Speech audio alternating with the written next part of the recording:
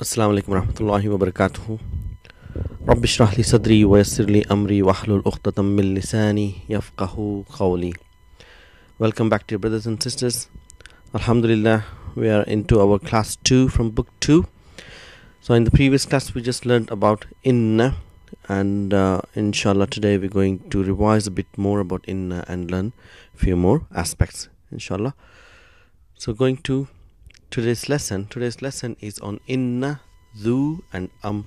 So we're going to learn about these three. So we know inna is a harf tawqid wa nasbin. Means it's a particle which is used to emphasize the whole sentence and it also gives nasb to the mubtada. And it always comes in jumlatul ismiya and we know that jumlatul ismiya has mubtada and khabar so what happens when inna enters? What inna does is it changes the mubtada into ismu inna that's all happens. Nothing else. So and the khabar remains khabar. So inna makes the mubtada into ismu inna and khabar into khabar inna and the khabar remains the same. And the ismu inna will have a, a so that's why it's called harfu nasbin so the khabar just to remind you that we did touch that there are five kinds of khabar so let me give an example for example if i say hamidun talibun so here hamidun is mubtada and talibun is khabar it is one word so when it is one word it is indefinite and it is marfu so if you say Hamidun fil fasli. So here fil fasli is jar majrur shibu jumla khabar. So it's another fragment. and say Hamidun, excuse me, Hamidun Amamal Mudarrisi. So Hamid is in front of teacher. So Amamal Mudarrisi is Zarf mudafilahi is another type of khabar fragment.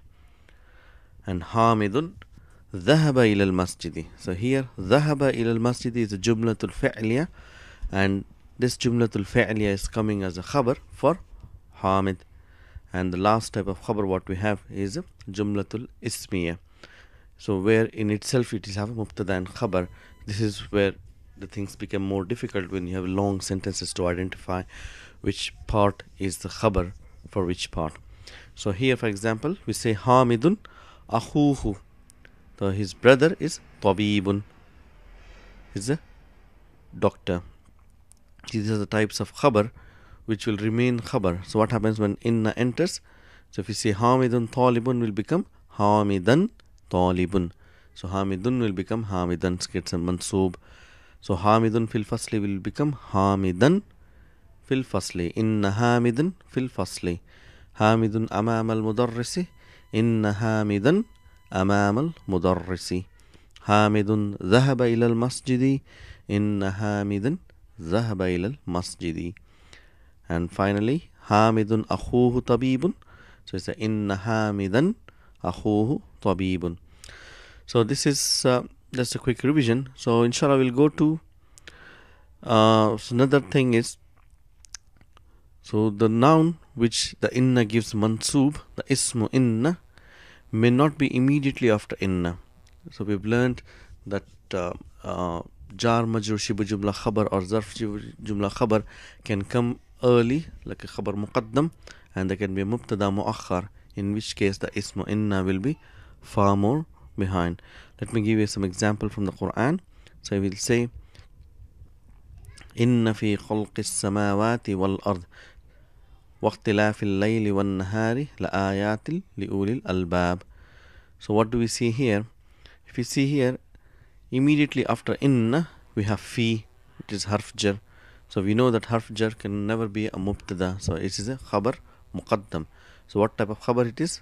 Jar majrur and there's a chain of mudaf mudaf ilahi and mawtuf. So fi khalqi samawati wal ard. So in the creation of heavens and earth. So again waw ataf waqtilafil layli. So again this mawtufun ala khalq. Is uh, in uh, alteration of layl is night and nahar is day.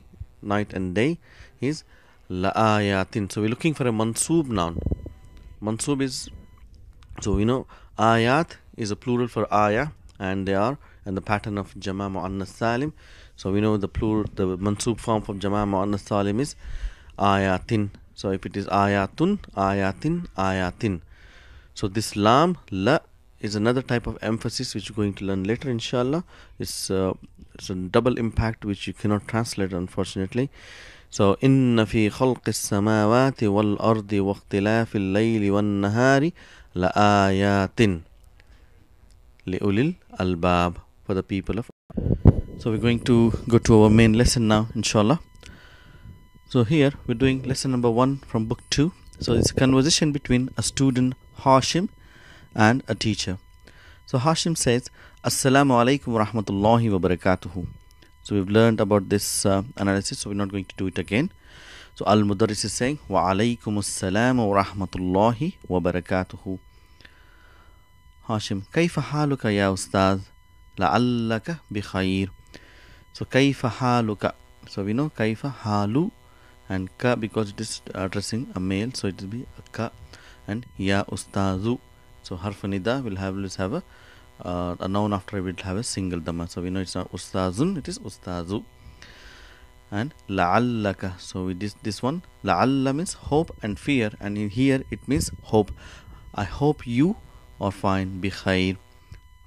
So hashim is saying so teacher is replying al mudaris alhamdulillah wa kayfa haluka anta ya hashim? And telling so whenever you uh, reply. So you give an emphasis we say kayfa haluka ant? So anta or anti depending on the gender uh, ya hashim ana uhibbuka. See ana uhibbuka. Uhibbu we have not done this type of verb. We'll do it later inshallah which means uh, i love or i like. So uhibbuka is mudaf uh, not mudaf it's mafulun bihi.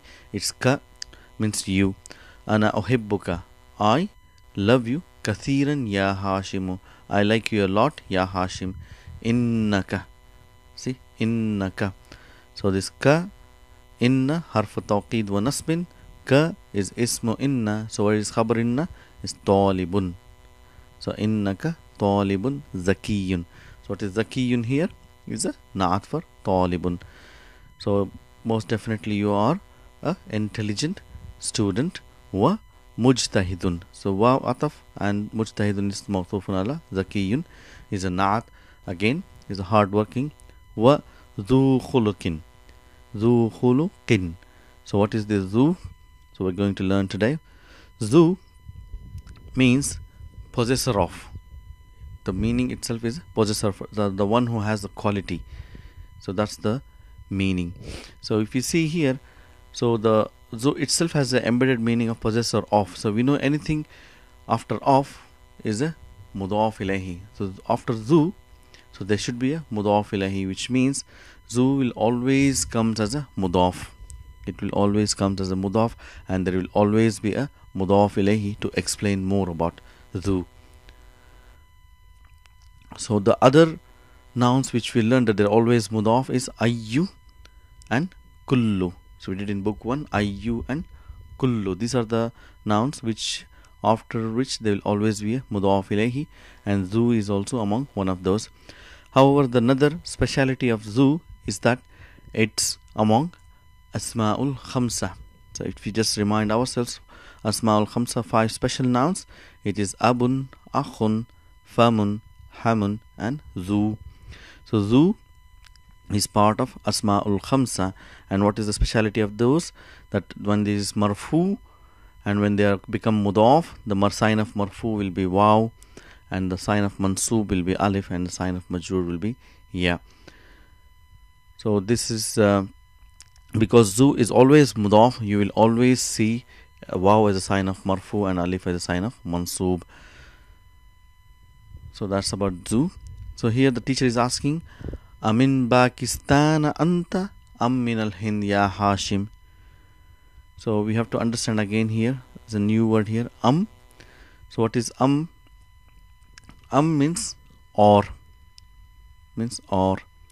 So there's another word which will means or which is aw so what is the difference between am and aw am is used in questions. So if you want to ask are you from India or Pakistan. So it's a question. So it's, we use um and if you're making a statement then you use or. Give me this or that. So you're making a statement. So in that you use aw and um will always come in question. So most of the time you will see a as a beginning of the question. So if you see here amim pakistan anta. Am min al hind so normally if you see or in english language if you have to say you say are you from pakistan or india? So the nouns which we are two uh, comparing they come one after the other. So are you from pakistan or india? However in original or classical arabic in the pure form of arabic what will happen is the nouns like uh, if you're telling are you from pakistan or india? So the first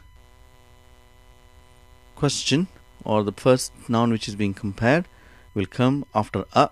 So say amim pakistan anta. Amim pakistan anta am min al hind. It's not a anta min pakistan am min al hind. That's wrong.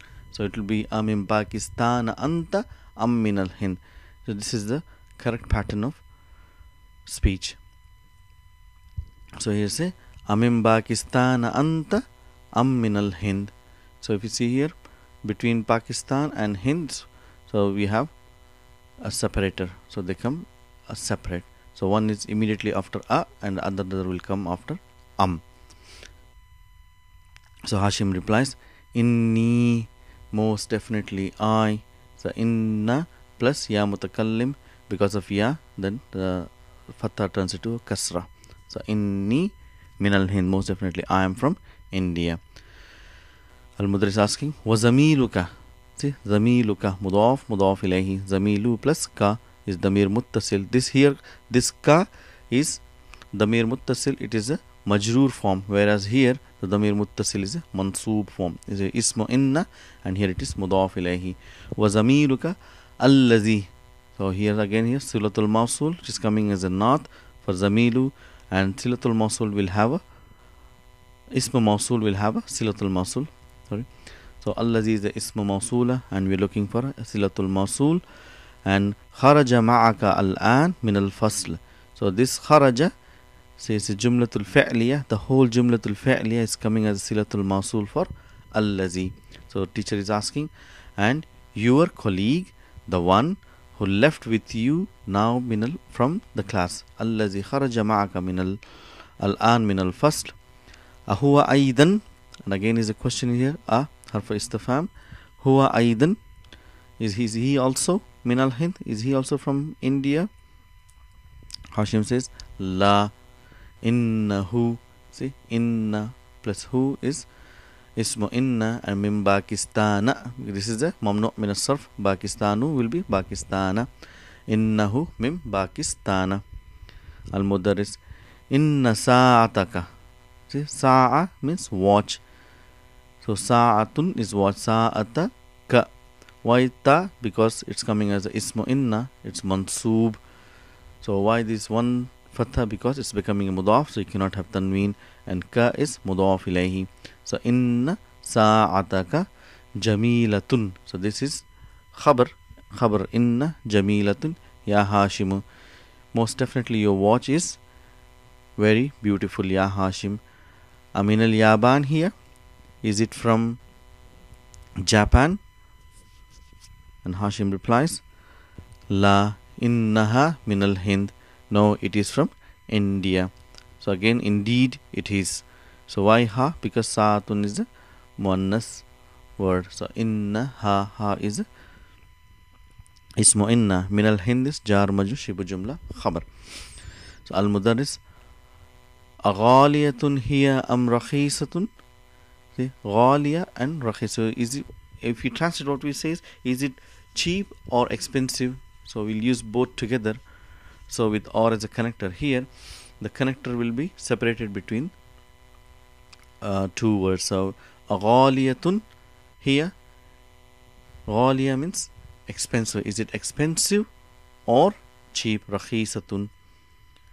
So Hashim said innaha indeed it is rakhisatun jiddan. See it is rakhisatun is a khabar khabar inna.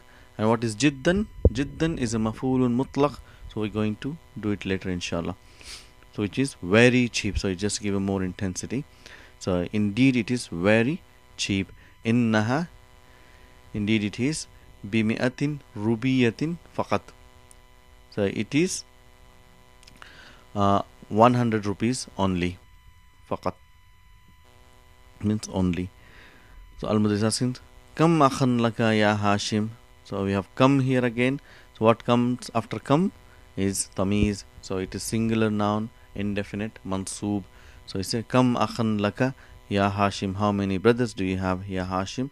So hashim says li i have. So jar majrur shibu jumla khabar muqaddam. So li thalathatu ikhwatun. So i have three brothers. Thalathatu is again uh, mubtada muakhar wa huwa mudaf and ikhwatin is mudaf ilahi so it's number 3 to 10 it's a combination of mudaf mudaf ilayhi hum are they students? So he says hashim says la innahum tujjarun. See there's a plural form stajirun and tujjarun fu'alun. The pattern. So we should be able to recollect all these things. So al mudarris say uh, wakam ukhtan laka and how many sisters do you have? So again ukhtan is tamiz. They say li arba'u akhawatin so now we know it's after arba'u is always mudaf ilayhi. It's not akhawatun it is akhawatin. Li arba'u akhawatin. So al mudarris afil hind hunna al an see hunna means is asking about akhawatin. So they feminine. So are they in india now? Hashim will say la inna hunna. See inna and hunna is ismu inna mansub. Huna is zarf. Now most definitely they are now bil madinatil munawwarati. They are in madinatul munawwara ma abi wa ummi with my father and my mother. So here we have two words mudaf mudaf ilayhi abi wa ummi. So that was our lesson. So where we learned about in zu and am. So we got one more sentence left. Sorry. It says uh, about sisters hunna see tullabun is uh, muzakkar and talibatun is muannas jama muannas salim. Talibatun hunna hashim says la inna hunna so indeed they are mudarrisa. What will come here? Mudarrisa tun because it is khabar. Innahunna mudarrisatun bil madrasatil. So here this is jar majrur bil madrasatis sanaviyati. So this is uh, a majrur and naat in the middle school. They are indeed they are teachers in the middle school. So today we've learned about inna we've learned about zu zu is a possessor which will always comes as a mudaf and it can also come as a naat as well. Uh, the most uh, example we what we normally read in dua is uh, ya zal jalali wal ikram. See the means it is a mansub form is a possessor of ya zal jalali wal ikram. So that's about zu coming as a mudaf and am which is uh, means or. So we have a separator a and um so the two nouns get separated so one comes after a and another comes after um so inshallah we will continue in our next lesson. Assalamu alaikum wa rahmatullahi wa barakatuhu